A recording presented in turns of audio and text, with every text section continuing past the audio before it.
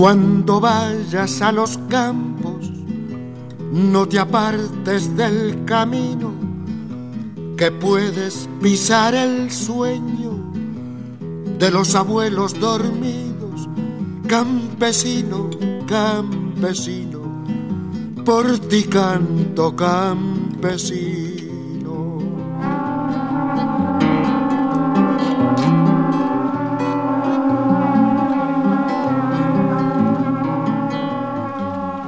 Son tierra menuda, otros la raíz del trigo, otros son piedras dispersas en las orillas del río, campesino, campesino, por ti canto campesino. Ahora cuéntame, ¿tú qué sientes por tu semilla? Similamantaka nuqa sintini uqnu wawayhinata nuqa sintini o sea me duele cuando tiran las cosas, cuando pesotea, eso a mí me duele. Yo lo cuido bastante como un gente, como a mí lo cuido a mis plantas también, a mis maíz, por ejemplo. Yo lo deshiervo, necesita este abono, que necesita? Eso yo tengo que ver como a mi hijo lo estoy mirando mi maíz, pues. Sagrada misión del hombre nieve, sol y sacrificio, morir sembrando la vida, vivir temblando su grito, campesino, campesino, por ti canto campesino.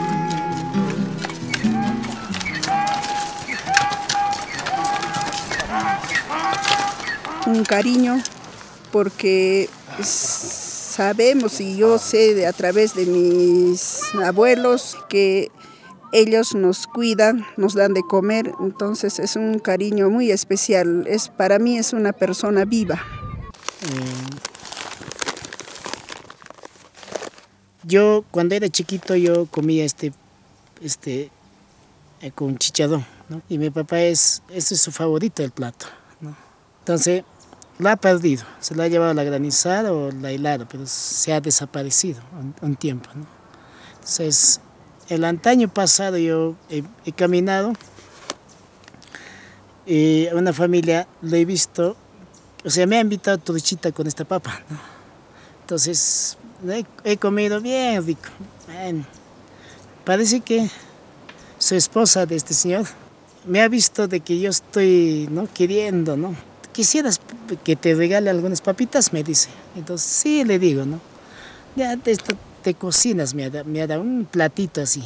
Y mi, mi, mamá dice, esta papita tenía, se ha perdido hace cinco años más o menos.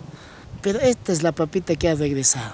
Yo siempre estaba llorando, pero sabía que iba a regresar. Y ahora ha regresado, hemos sembrado. მორალ დასანსკად ხასნებოდა ლასტვალეჩახ მორალ.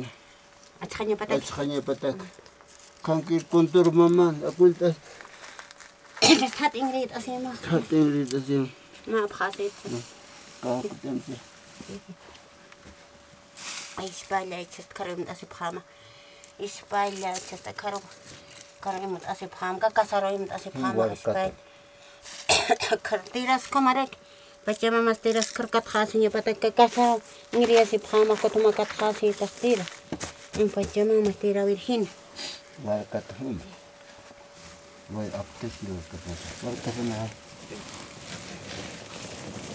Todo tiene vida, todo posee vida. Somos una unidad y unidades completas. Nada está aislado. Las semillas que tenemos absorben el estado de ánimo, absorben el nivel de entendimiento espiritual energético que tenemos. Y la dulzura también va acompañado con eso. Y parte de esto eran los rituales que tenemos hoy de conversar, de convivir, de conectar nuestro ombligo espiritual a la Madre Tierra. Yo realmente semillas lo crío hace mucho tiempo ya. No me gusta tenerlos, me gusta criarlos. No, yo siento mucho cariño por ellos, porque ellos yo, en un momento son mi madre, me crían, crían a mis hijos, a toda la familia, ¿por qué no decir a todos nos cría? No, irá mamita kan kila. O ka ka man sim ka sara ro waqt abkhirita na o ka akhat e abkhit ma pas o ams. Wow, chega mo. Mm ko o khat sarte sip chega ma ko thani chaqay sip kti. Mm o ka sartas ke alas na sa sip karak ta ka simil chaqay sa ko. Hani chaqay sin ka karakiti. Suma. Mm suma tar ke o ka thani chaqay sip tu ka papito nga na kan o ka waqt at at akhat ayat o ka ma o ka tan ka. Mm. Sea, mi papá siempre decía, cuando siembras, no hay que abandonarlo, ¿no? sino hay que visitarlo constante, por lo menos una vez, dos veces a la semana. ¿no? Si la abandonas, la chaquita está, está triste. ¿no? Yo estaba pensando, ¿cómo es que tú visitas y la chacra se siente alegre y crece? Si no, ya no crece. ¿no? Me doy cuenta que al visitar creo que estamos transmitiendo energías, ¿no? La chacrita, ¿no? Parece que existe eso de bailar con la chacra, ¿no? Bailamos, tomamos, comemos, así, ¿no?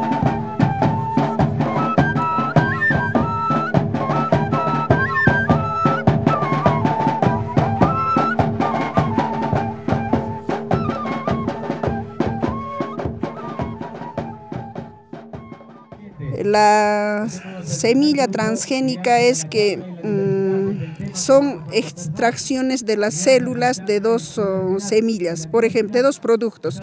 Puede ser de la papa, extraer la semilla, ah, no, la célula y de igual manera de maíz. Entonces hacen un encuentro, podemos llamarlo, ¿no?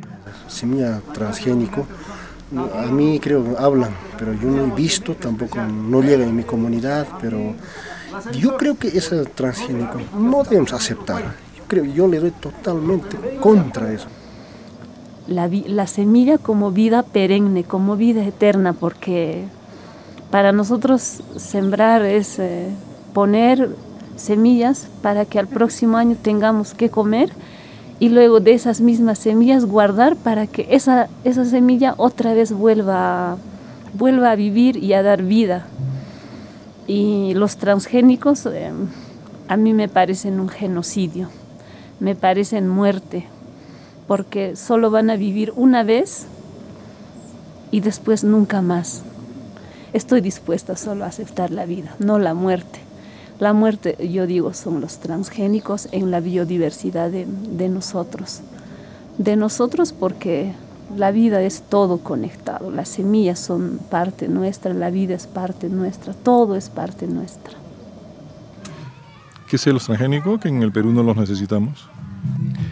Por la variedad de productos, la variedad de pisos ecológicos este, y que no hay dos sitios donde, donde pueda crecer una misma planta, ¿no? Este, y, y, y, por un choque cultural, ¿no? O sea, este, la cultura que se ha impuesto en el mundo, que es la cultura occidental, europea, americana, si quieres, este, y, que, y que salvó de la hambruna a sus pueblos en su momento, lo hicieron con, con el desarrollo ¿no? de, de, una agricultura del monocultivo, ¿no? de, de, aplicar ciencia y tecnología pues, al extremo. ¿no? Este es el banco de germoplasma de Quino y Kiwicha.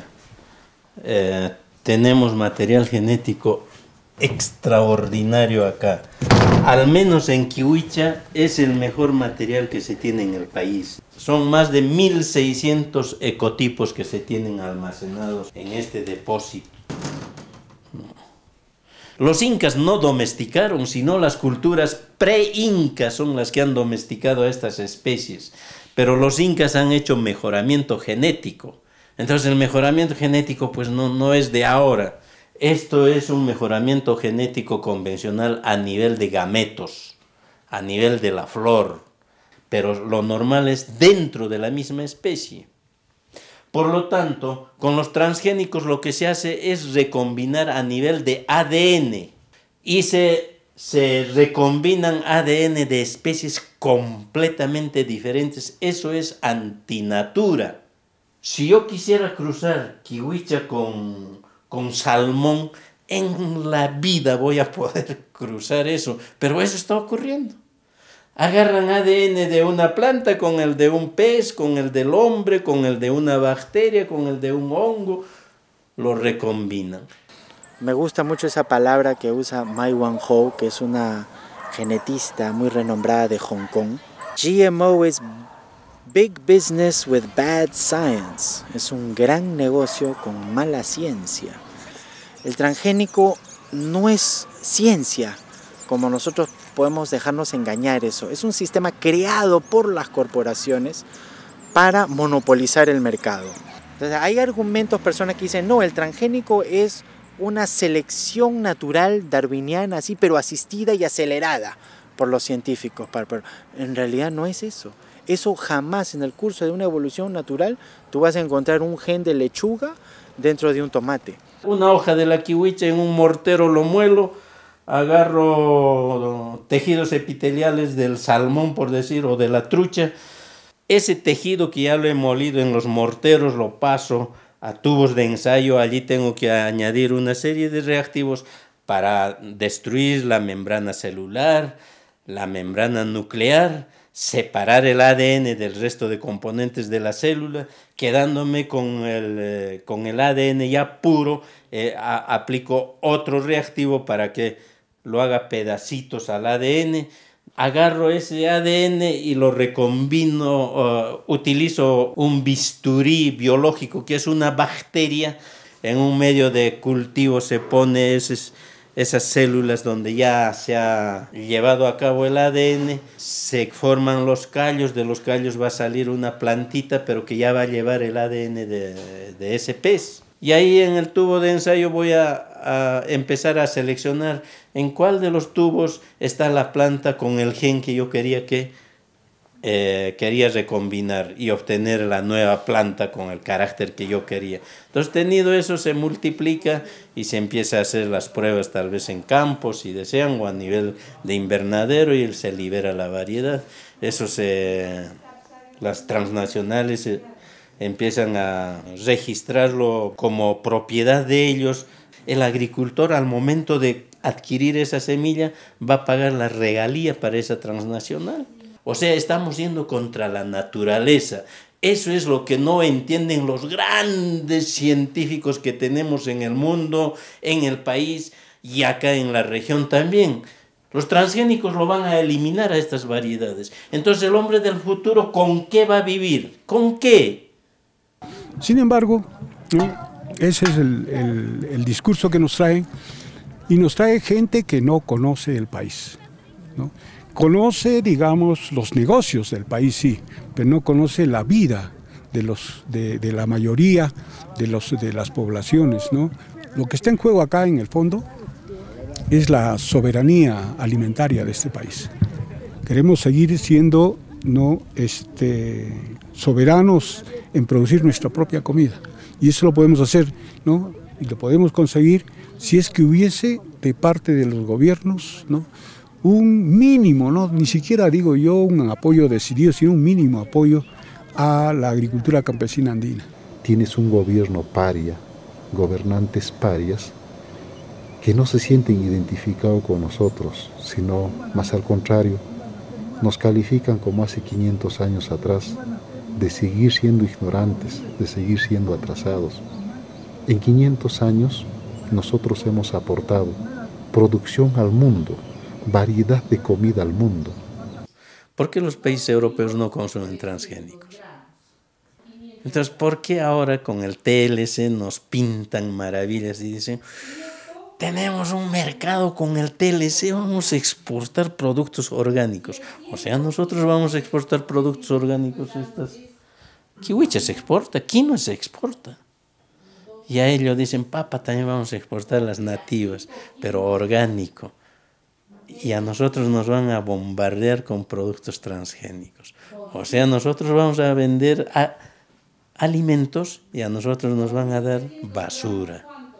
Y felices de la vida, ¿no? Y también si la gente come el, esta comida, o sea, si tú dices que la gente política come esta otra comida, se convierten en eso y van a estar pro eso, ¿no?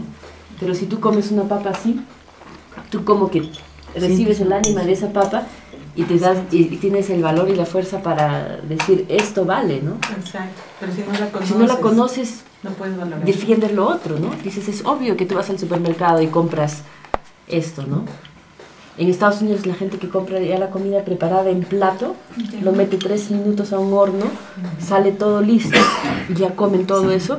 Eso es comida para ellos, ¿no? En el país, desde hace buen tiempo, viene llegando maíz duro para alimentar a las aves. El maíz este mayormente es de, de, transgénico. Lo mismo también, ¿no? Este, viene, viene llegando la soya, ¿no? La soya también eh, mayormente viene pues de Brasil, Argentina y ahí se cultivan ¿no? este, los transgénicos, ¿no? soya transgénica. Allá en, mi zona el problema que tenemos es que eh, está avanzando cada vez más el cultivo de soja. Eh, no solo ya abarca la pampa húmeda, sino que se está extendiendo hacia el norte y detrás de eso, o sea, eh, la soja que se utiliza en Argentina para exportación, el 99% es transgénica. Eh, detrás de eso viene todo el paquete tecnológico, que es el uso del glifosato, digamos, para, como herbicida. Y, como es un gran negocio a, nivel numérico, se, se, está extendiendo cada vez más. Este, corriendo la frontera agropecuaria y detrás de eso se va expulsando comunidades campesinas e indígenas. En el caso de, nuestra provincia, este, toda el área chaqueña, que históricamente ocupada por comunidades huichí, este, están siendo cada vez más arrinconados a las zonas urbanas. Más o menos el 90% de toda la producción de soya transgénica de la que subsiste Argentina, que supuestamente deberíamos, quisieran algunos que nosotros imitemos, todo eso se exporta a la China y es para alimento para el ganado. El 86% de toda esa soya termina en excrementos. Entonces, si vamos realmente a afrontar el problema de la desnutrición y el problema de la falta de recursos y la, la sobrealimentación y todo eso, con el transgénico no llegamos a ninguna parte.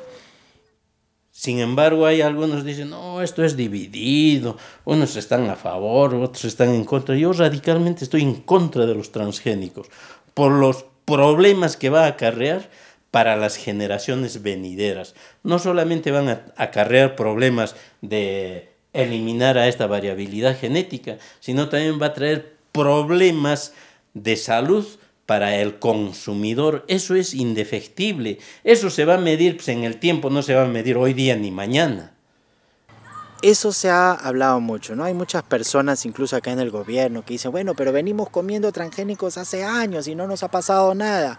Y entonces, aparentemente, no hay ningún riesgo. Lo que hay que aclarar es que nadie se va a morir de súbito comiendo un transgénico, ¿no? Normalmente entre las especies hay una barrera genética y esa barrera, al romperse, empiezan a sintetizarse una serie de proteínas que no sabemos cuáles son sus consecuencias. ¿no? Entonces, con el transgénico sí ha habido estudios, sobre todo en, en cerdos, en conejos. A las ratas, los eh, músculos, si se le da soya transgénica, solo pueden procrear hasta una tercera generación. Pensemos que los transgénicos el hombre lo viene consumiendo más o menos desde el 94, 95. O sea, no tenemos ni 15 años, no hemos pasado ni siquiera una generación de personas consumiendo transgénicos y no podemos cabalmente ver cuáles son todas las consecuencias. Y aparte podemos pensar, ¿cómo no va a tener esto un problema si le estamos poniendo este, pedazos de síntesis de proteínas tóxicas? ¿no es cierto?, dentro de, una semilla que si mata orugas y, abejas y, cualquier plaga, también va a tener un efecto corrosivo sobre nuestros tejidos. Es como la misma agricultura eh, intensiva que tiene pesticidas y plaguicidas y todo eso, también ha tenido una fuertísima influencia en nuestra salud y se calcula que esa es la principal fuente de toxinas que tiene el hombre ahora, ¿no? Ahora mayormente la gente se ha dedicado a, a pensar en la economía, en la entrada de la plata, y lo ponen toda clase de bioagroquímicos, ¿no? insecticidas, fungicidas, a base de eso nomás ya están produciendo, pero ¿qué nos trae como consecuencia? nos trayendo enfermedades, ¿no? Y dentro de nuestro organismo. Especialmente ahora nos están atacando el cáncer al estómago, al colon. ¿Por qué? Porque nosotros estamos consumiendo esta clase de... Porque la mayoría dice que el veneno no entra al tubérculo o a la comida, pero no es así. El veneno entra a la comida. Y yo quiero preguntarle acá a usted que, está enterado de eso, ¿no? ¿Por qué mata al terreno? Bueno, nuqanchik chay muhukunaqa chay transgénicos nisqaman chay muhukunaqa. Manaya kallpayuq ñachu kapun porque suq watallata rururuspa qhipantu atapaq manaña rurupunñachu chay transgénicosqa chayta hallp'ata wanchipun pun chay kanya hallp'anchas mishk'i hallp'an nisqa separapun chayqa manaña chayqa nanñachu Juanchik, pero abonar juntos de calpata, pero hay transgénicos que nos manaña abonan ñancho, o sea, del todo ya lo matan, ¿no es cierto? Sí, sí, sí. Ustedes saben, la agricultura norteamericana es pues, full pesticidas. Dentro de ello, el herbicida, porque no hay mano de obra para deshiervar. Entonces, ahora se tiene desarrollado herbicidas totales del grupo glifosato. Eso elimina todo. No deja una planta viva. Pero con estas variedades transgénicas se han introducido genes que hace de que esos cultivos sean resistentes a ese herbicida. Entonces siembran el cultivo, aplican ese herbicida total, no les sale una planta, una maleza. Están matando no solamente a esas plantas que lo vemos, sino la flora que hay en el, eh, en el suelo, la microflora, que es fundamental para la vida de la tierra, del suelo. Esa también muere. El suelo queda esterilizado. Sí. ¿Qué puede pasar si, por ejemplo, Queromarca llegan unas semillas de maíz transgénico? ¿Qué pasaría? Ya. Si viene acá a Queromarca ¿no? un maíz transgénico, ¿no? entonces esto a través del polen puede este, esparcirse a otras variedades nativas y ya este, contaminarlas genéticamente. ¿no? Entonces ya hay problemas allá. ¿no? Ahora, claro, dicen los expertos dicen que no hay problemas, que basta ¿no? este, tomar las precauciones y de tal manera que haya un máximo de 50 metros, ya no pasa nada, es mentira. ¿no? El, polen en realidad es llevado kilómetros. Además, pues el campesino, su costumbre es siempre llevarse semilla. Pues, ¿no? ¿Qué, qué- qué no sería raro que una transgénica se haya traído de Bolivia y ya esté acá? ¿no? Se, se hace la reproducción. Tengo yo el ADN, ¿no es cierto?, formado por las dos líneas unidas. Entonces viene el ARN y las divide y al juntarse las dos células el ARN vuelve a juntar. Y eso, cómo se mezclan los genes, es un producto del azar. Esto todavía está en teoría, pero ya hay bastantes indicios de que en realidad el ARN decide qué genes juntar y qué genes activar. No se entiende muy bien cómo recibe información del exterior, pero aparentemente no es azar. Y eso explica los tremendos saltos evolutivos que se dan a veces. Y la cosa Sí. ahí es que si tú metes transgénicos, destruyes completamente ese sistema, la Natural. capacidad de ese sistema de evolución de las plantas, que es el sistema con el cual los campesinos han trabajado durante miles de años, creando. O sea, no son los creadores de absolutos, sino que es realmente un diálogo entre las necesidades humanas y, y- y- y las decisiones del ARN.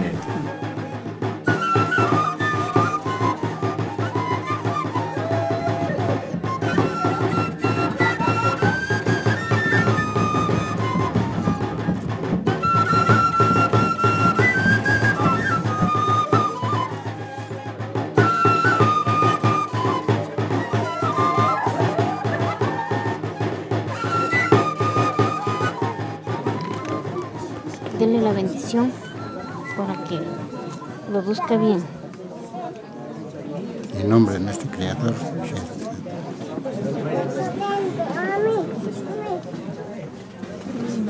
¿Cómo se siente usted ahora, don Antonio? No, tranquilo. Yo tengo, soy chacarero, tengo cantidad de papas, así hay que dar a, a nuestros hermanos con toda voluntad. Entonces, el nuestro Creador se va a bendecir, se va a estar bien, como una diezmo o como una hierba.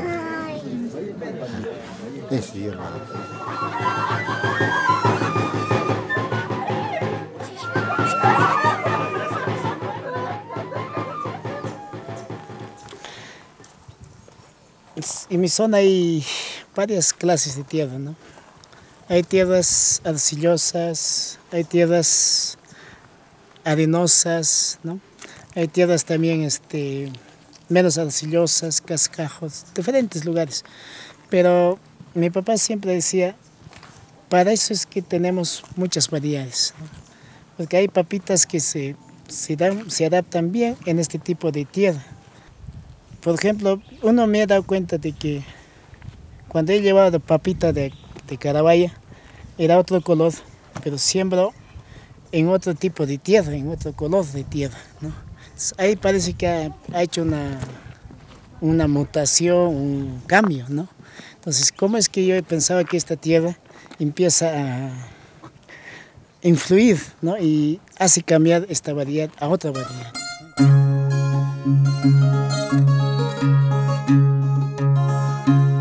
para crear una diversidad, ¿no? una variedad de papas, es, creo que hay que tener corazón. No creo que hay que pensando, abstrayendo, investigando podemos este, obtener más variedades, sino que darle el cariño, el respeto, su respectivo momento, Bueno, lo único que tal vez eh, si ven este, este video es que eh, hay, que hay que razonar y hay que actuar en función a las generaciones que vienen. Estamos olvidando que las semillas son como, el, como un, un cúmulo de energía de vida y merecen todo el trato y el respeto. Y, y yo recuerdo a, las, a mis tías, a mi abuela, besar a las semillas. Y la cultura que tenemos en esta época. Lo ve como algo que como que por qué vamos a besar a las semillas decirle gracias o hablarle desde desde siempre. El amor es un es un elemento que vivifica. El amor es poderoso Un día dijimos, ya vamos a cocinar solo lo que hay en la huerta, ¿no? Ajá. Entonces salimos con la canasta y esto, esto, esto, esto.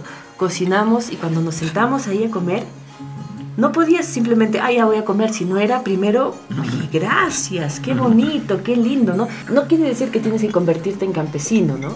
Sino la idea es que los ciudadanos tengan esa parte de, de saber qué esfuerzo es hacer crecer la planta, la comida.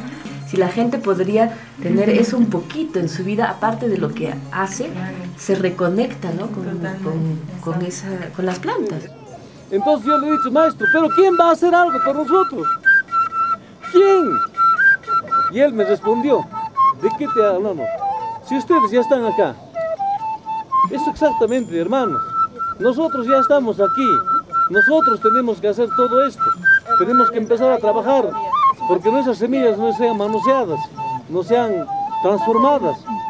Quiero, hermanos, decirles ahora que esto no es solamente un espacio religioso, va más allá. Es un espacio de enlazarnos las manos en todo el mundo para empezar a reconocernos entre nosotros. Porque los indígenas de Argentina, los indígenas de Bolivia, los indígenas de Guatemala, los indígenas de Chile, los indígenas de todo el mundo, también sabemos llorar, también sabemos comer, también sabemos sentir, también sabemos amar. Entonces, hermanos, es momento de que nazcamos nosotros como naciones y que nos vea toda la gente que nosotros no somos esos cholos alcohólicos de patalajadas que son un atraso para el desarrollo, sino más bien que vean que aquí está la solución a los grandes problemas del mundo. Porque la gran parte de la alimentación lo damos nosotros.